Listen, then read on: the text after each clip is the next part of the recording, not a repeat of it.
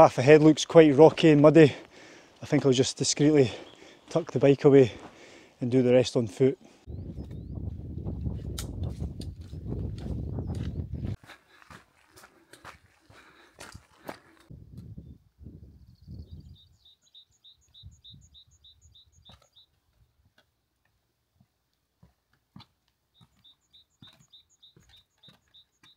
It's actually something quite nice about getting the Corran ferry.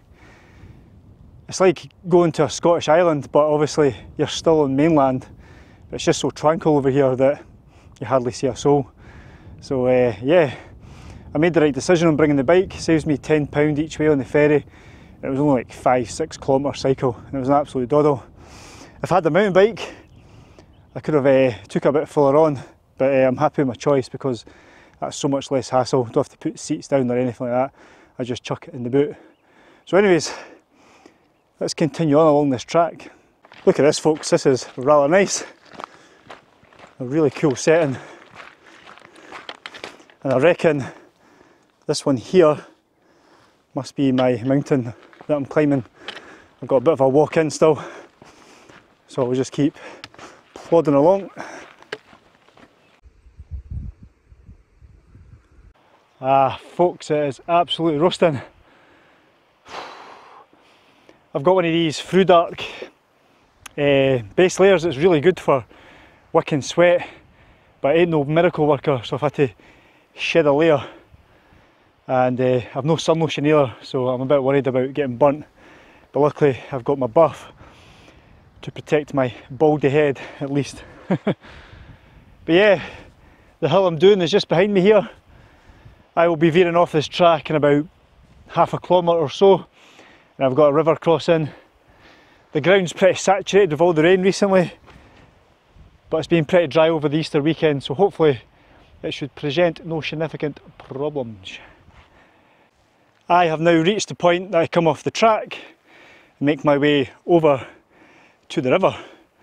From here it looks a bit wide and swollen but I'll just go upstream a little bit, hopefully find a nice point to cross. So uh, yeah, here goes. I've got wet feet there, never mind, it's not terrible. Whoa, there you go.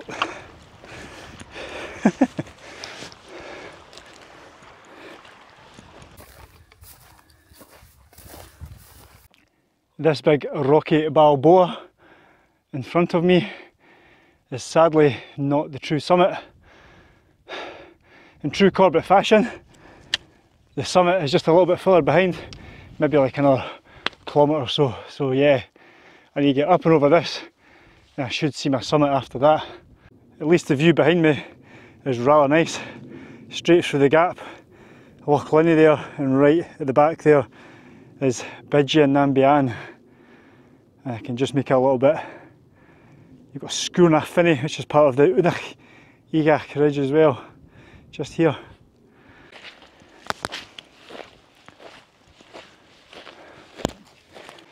I had to buy trekking poles again quite recently, so I stuck with the same ones. I've got these black diamond efforts, the trail ones, same as the last ones but a different colour. But basically, I don't know if you watched my Ben Alder Cottage Bothy video, but towards the end you see me crossing the river just outside the Bothy.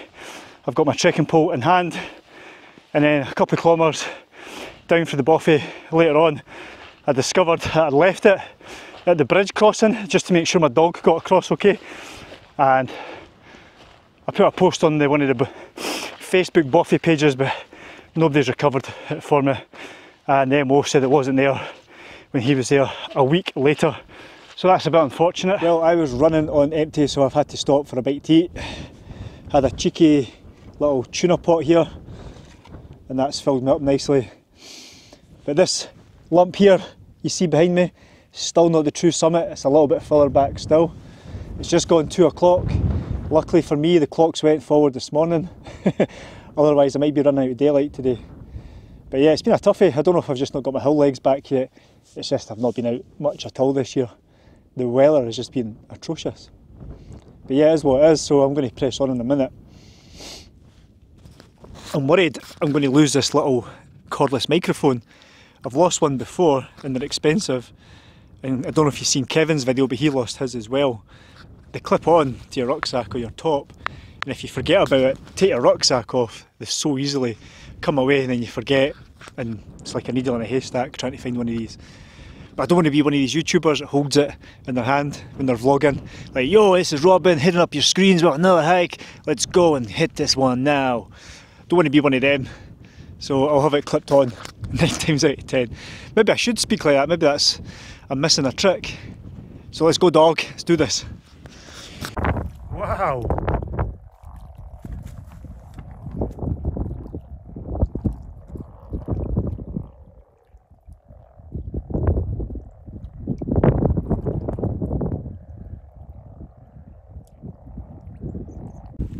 I've never actually seen anything quite like that. I've obviously seen frogs before, but living in such high numbers. Ah, that's fantastic. I'm going to be so careful not to stand in any though. Terrified. Hurrah folks, finally. Jeez, that was hard fought. Woo. Well folks, here we are on the summit of Beinn na h-Uamha, which translates to Hill of the Cave, I believe. And I've had a little nosy around and I don't actually see any caves myself, but maybe they're further down. But anyways, this is in the heart of Ardgour. Very rocky in character, not too dissimilar to the rough bounds of Knoydart, which isn't that far away when you think about it. Glenfinnan is just over there to the north. And yeah, it's rather stunning, fairly remote. And the snack of the day, folks, if you're ever in the shops and you see these bad boys, they're Kurkure Chilli Chatka. These guys are magic. They do three different flavours. These ones are my favourite. I think the other one's like a, a tangy tomato, or another one I can't remember what it is, but they're really good. Mm. Do you know what they're like? Do you remember Twiglets? Exactly like them.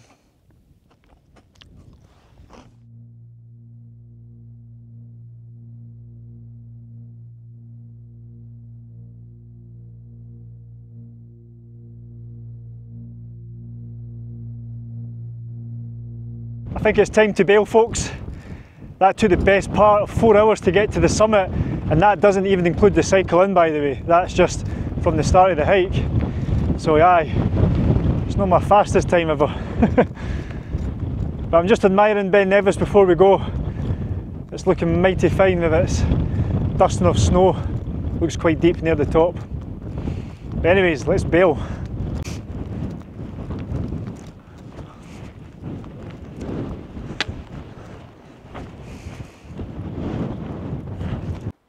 Quick update folks, what I've done is I took a more direct route off the summit following the Walk Highlands route. Basically what you do is you come off and there's an Averil Ravine, aka Ravine, just to my left here.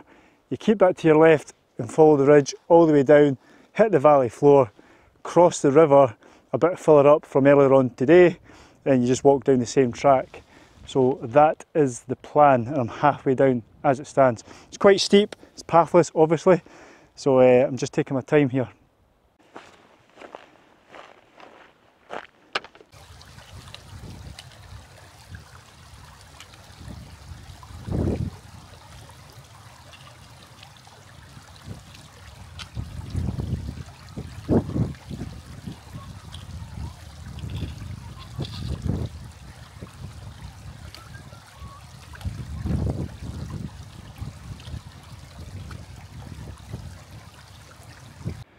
From summit to river, that took one hour and 15 minutes, and that includes the three river crossings as well.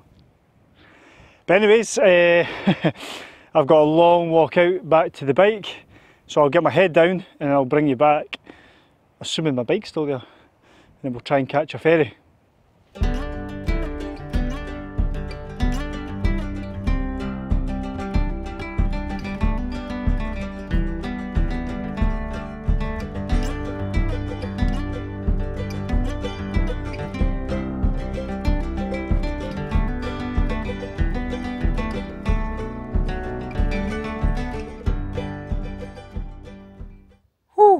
Yes, folks, I am back. Seven hours that took. Uh, that's some trek down that track. What was the time again? It was 5 hours 15, wasn't it? So an hour 45 down the track. I did say 2 hours from memory. Anyways, the bike's there, so that's good. That is me back at the ferry terminal on the Ardgour side. Happy days. That was a tough shift today, I'll tell you that. But what I'm going to do now is I'm going to wrap this up. I'll catch you guys in the next one. Cheers.